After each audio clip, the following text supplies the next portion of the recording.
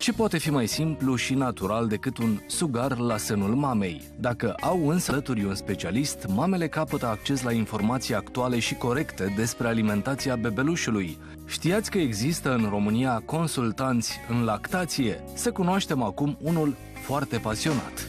Imediat după naștere, legătura specială creată între bebeluș și mami în perioada intrauterină uh, se continuă natural prin alăptare.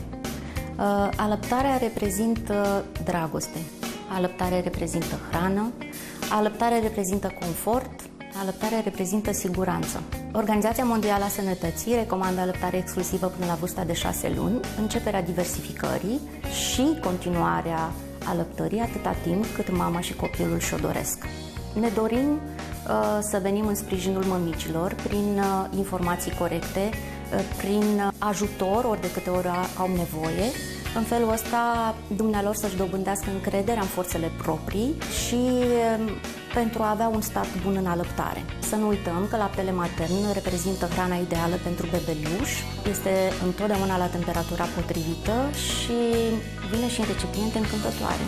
Primele zile pot fi dificile uh, pentru mămici, dar uh, cu ajutorul specialiștilor, toate aceste temeri pot fi depășite, astfel încât uh, perioada alăptării să fie o perioadă foarte frumoasă. De aceea, noi venim în sprijinul dumnealor prin uh, oferirea de consiliere în alăptare, consiliere în îngrijirea bebelușului, atât în ambulatoriu cât și la domiciliu. Ce pot face mămicile pentru a se pregăti pentru alăptare? În perioada uh, prenatală pot participa la cursuri de educație prenatală, iar după au nevoie de uh, sprijin din partea persoanelor specializate uh, pentru a obține informații cât mai corecte, au nevoie de o nutriție și o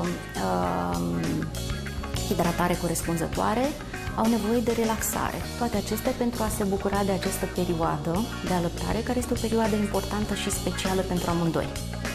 Uh, ne dorim din tot sufletul ca prin toate aceste lucruri pe care le facem uh, să obținem un număr cât mai mare de mămici care pot spune uh, cu toată încrederea și deschis, da, și eu pot alăpta.